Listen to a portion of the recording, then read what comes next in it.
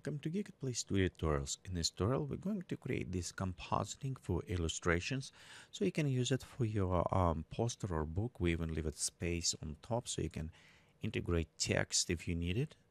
Um, but we'll take photo model, we'll process it with uh, uh, using channel separations, dodge and burn and other effects so that we bring model to this three-dimensional look creating backdrops, importing and integrating everything together.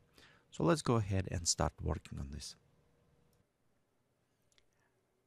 Okay, so let's go ahead and start working on the object for the model preparing. Uh, one thing I note in this photo, it's a little bit dark pen, so we need to bring details out.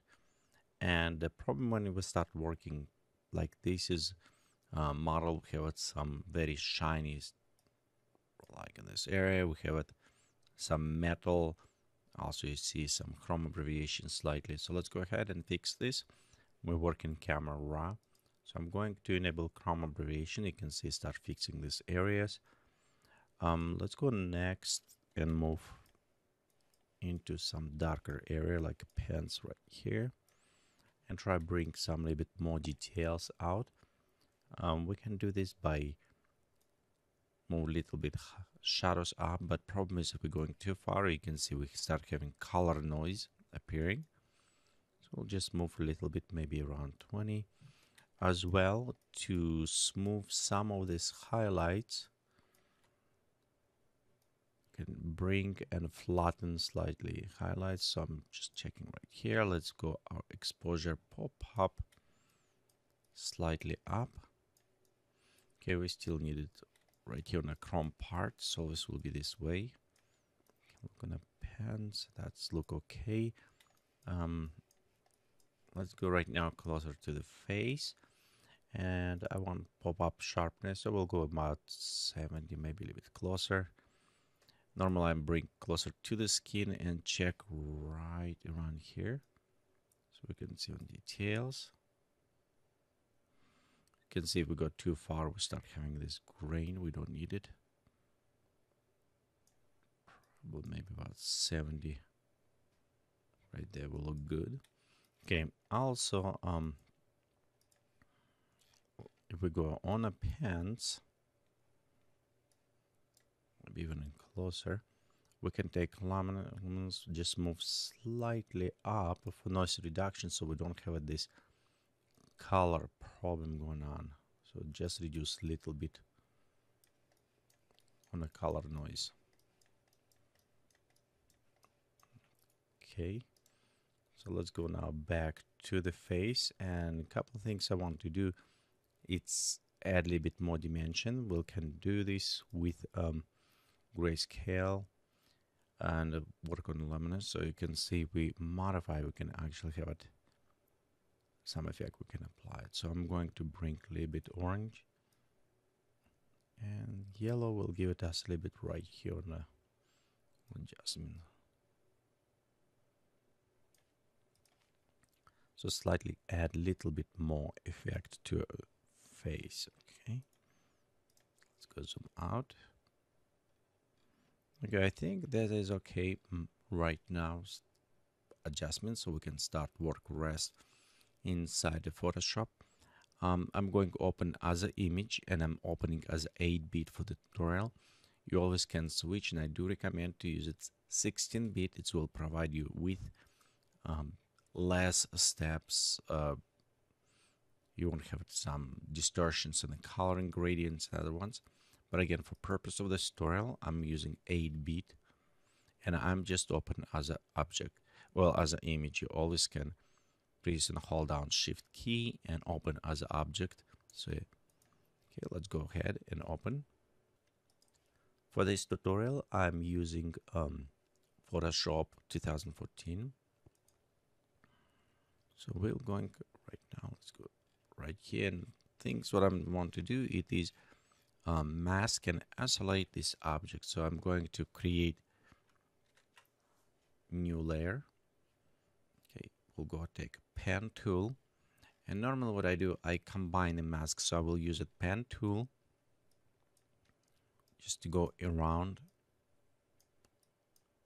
And you notice I'm about one pixel depth. And when I click have this handles contract and just slightly drag them parallel to the surface. So you can see and let's give it very nice very easy and fast. You can create mask. Normally I'm going right here see right it's bending so just before a little bit and after. And again you can see my handles they kind of follow the outline. So this will create a very nice very fast way you can mask with a pen. The reason why I'm masking with pen it's provide for me very sharp very nice edge. And uh, because I'm going to combine mask I don't need to worry too much about um, magic wand or rather that is easy to use but overall it will provide not as sharp and nice edge as I want.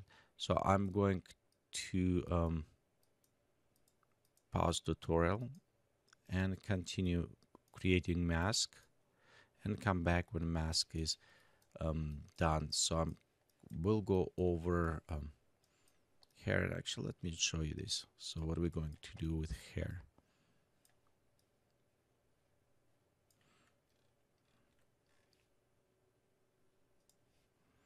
Okay so we're done masking.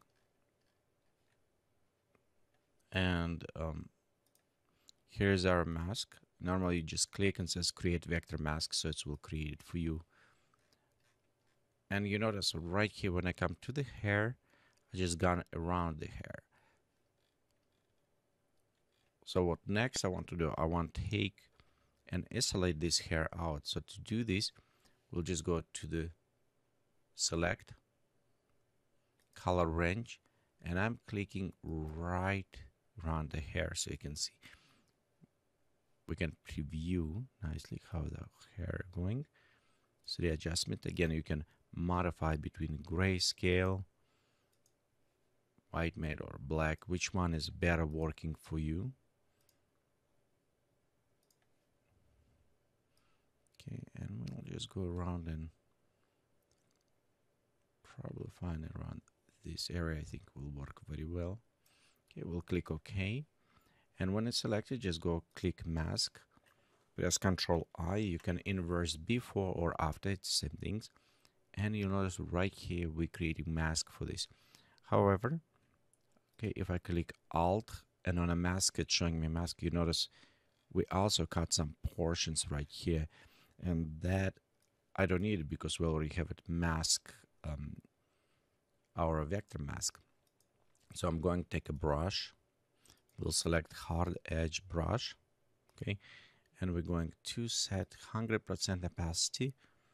And let's set to the white. Okay. So right here, let me go. So we select our right tool. Okay. And next, all what we need to do is just paint over this in our brush. Okay. So we can uh, go right there. Um, I'm trying not to come closer to these edges, but right here I can probably cover a little bit around the hair. Edges, we had mask, so I'm just come very close right here and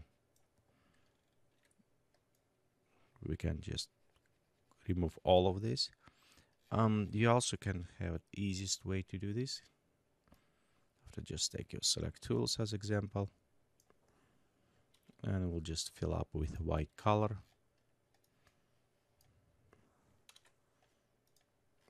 so all what this mask is hold for us. You can see right here it is only the hair. So it's kind of nice because we don't need worried about all other ones. And if you want tweak and modify a little bit better you can always can come back and refine that mask to create even better hair going. So right here we have a full mask done with a hair okay the next step what I want to do I want to start working and fixing some blemishes right here on the skin so let's do that.